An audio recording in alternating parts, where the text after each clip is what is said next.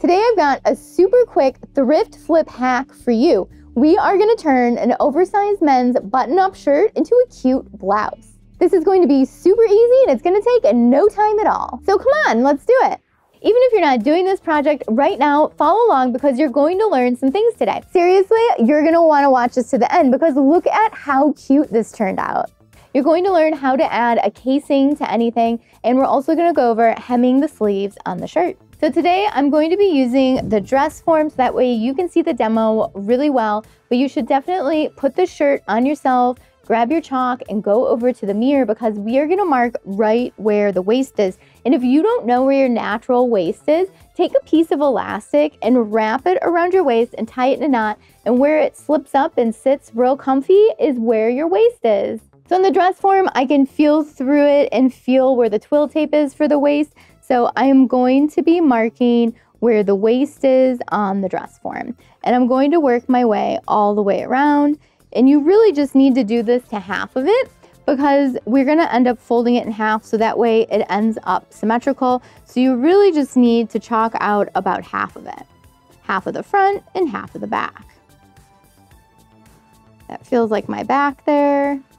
Okay, so we've got the waist chalked out for the back and we have the waist chalked out here for the front. So you can see my line was a little crooked here, so we are going to straighten it out with the ruler. And now that I know where my waist is on the shirt, I actually want to measure down another three inches because we need room for a casing and we want a little bit of a blouse effect. So I'm leaving two inches for a blouse effect and one inch for a casing. You could also leave a bigger casing, really depends on the width of your elastic. I'm also going to even out my line on the back and chalk this out so that way I cut a nice straight line. So we're gonna mark our waistline first, and then I'm gonna go down three inches.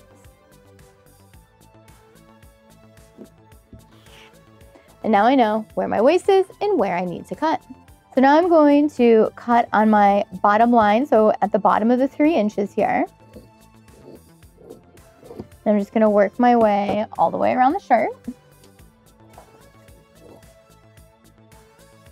And there we go, chopped off.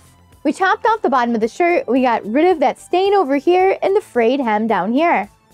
That's what I love about knowing how to sew and thrifting. You can find something that's really cheap. The shirt was like two bucks and we can transform it and make it into something cute. You just gotta look for those pieces that have potential. Okay, let's get into sewing this together now. The first thing we're gonna do is sew down the placket to itself. So just through the front layer, we're gonna sew the placket together at the bottom and we're gonna sew the placket together all the way up to that waistline. So that way when we're making our casing, this isn't gonna be flapping around, it'll be nice and secure. So I have my machine set up to a straight stitch and we're gonna sew the bottom of the placket first.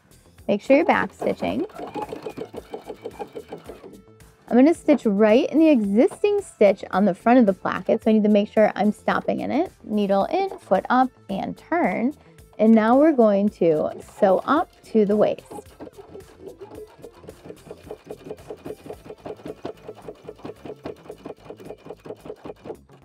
When you get to that waistline, add a few back stitches and cut.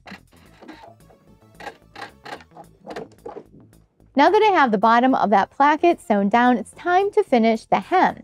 What I'm gonna do is serge my edge to finish it off, but you could zigzag it or overcast it. You could even bias bind it and get real fancy. And before I finish the edge, I'm also going to seam rip off this button because it's going to be folded down to the inside in the casing, we just don't need it there. So we are going to get rid of that button. There we go. Time to serge it up.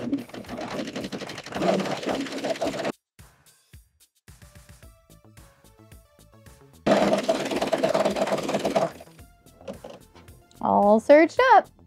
Now that I have my edges finished, we are going to create a casing. So I have my shirt inside out and I'm going to fold it up one inch and iron it down. And this is gonna make it so much easier when we're sewing. Now you could make your casing any width depending on your elastic.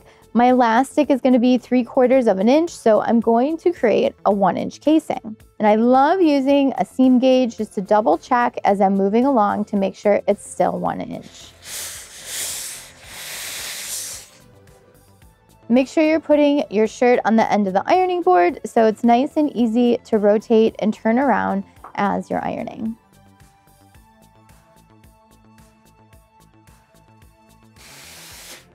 Okay, all done ironing. Now we've got our shirt all prepped and it's time to get into some elastic. Now what we need to do is sew down that casing that we ironed and I'm going to start at a side seam so that way when I see my overlap stitches, it'll be here at the side. So I'm going to stitch right in the middle of the serge all the way around the hem of my shirt, but I'm going to leave a one inch opening so that way I can go back and get my elastic in there. And you're probably wondering, how much elastic do I need to cut? Well, it depends how fitted you want the shirt to be on the bottom of you. So I took some elastic and I just wrapped it around my waist, made it nice and comfortable, not too tight, and then I cut it. So I would make it the same size as your waist or an inch bigger. So let's go sew that casing down. So when I'm sewing my casing, I'm gonna be stitching in the middle of the serge so that way I have this room here for the elastic to fit in.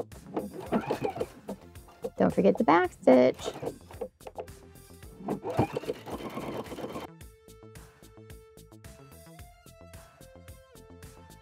So back where I started, I'm going to leave a one inch opening. So I'm going to add a few back stitches and cut. So our casing sewn down on the front and the back. It's looking great and it's ready for some elastic. So grab your elastic and a safety pin and let's put this elastic in. So I'm gonna put the elastic on the safety pin, so down, back up, so that way it is nice and secure on here. So we've got the elastic on the safety pin. And now we're going to put it in our casing. So find the little opening you left, just start pushing and pulling your fabric onto the elastic. And we're gonna work our way all the way around the hem. And remember, your elastic is smaller than the casing, so don't lose your elastic in here.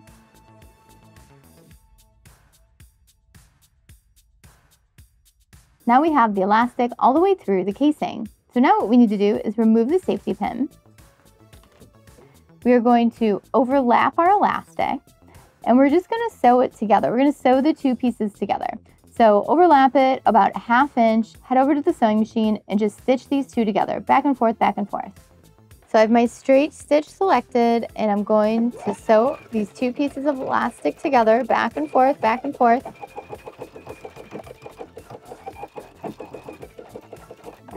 Nice and secure and cut.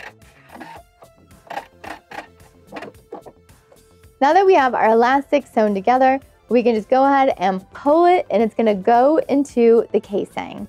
Woo, look at that. It is nice and gathered up on the bottom. So now that we have the elastic in the casing, we just need to sew down the opening here. So we're just going to pull it flat and just continue stitching right where we left off on both ends to sew that up. So we wanna start where we left off on the stitching line. So I'm gonna take my hand wheel I'm to pull my needle right down into the stitch. So that way I know I'm starting in the right spot. Couple stitches forward, couple stitches backwards. Continue all the way down until you get to the stitch that's already there. I'm going to go a few stitches in, back stitch, and cut. And now our hole that we had is sewn up. The elastic casing on the hem looks awesome. I cannot wait to try this on. But before we do that, we need to hem the sleeves. You could totally leave the sleeves, but they're a little bit long for my taste, and I really want to give this shirt a transformation. So I want to make my sleeve three inches shorter. So I'm going to use my quilting ruler and my rotary cutter, and I'm going to cut off two inches, and that leaves me one inch for creating a rolled hem.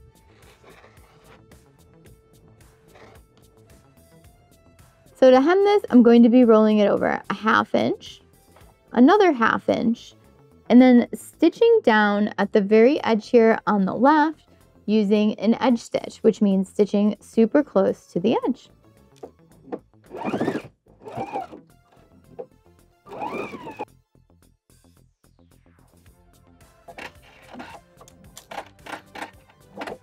The hem looks great, and now I'm going to do the same thing to the other side. Looking so much better with the shorter sleeves and I am just loving this elastic gathered casing at the bottom. And now it's time to try it on. And it fits great. Check it out. I love the transformation of the shirt and it was so easy to do. We added that elastic casing on the bottom, giving it more of a blouse style. And we shortened the sleeves just to update the style a little bit, make it a little lighter. We turned a stained button-up shirt into a really cute blouse. And now I think it's gonna be one of my go-tos.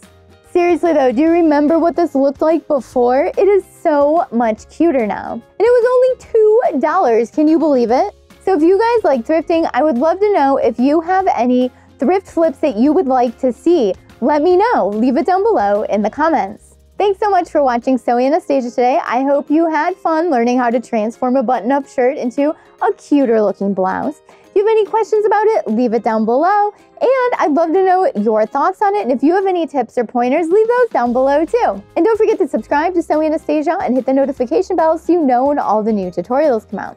And if you're already a subscriber, thank you so much for watching today. And don't forget, I teach sewing classes in my design studio here in Chicago, Illinois, and we also teach things virtually as well. So check those out at sewanastasia.com. And don't forget to add me on Instagram, Facebook, Twitter, TikTok, all the socials so that way we can stay connected and creative together.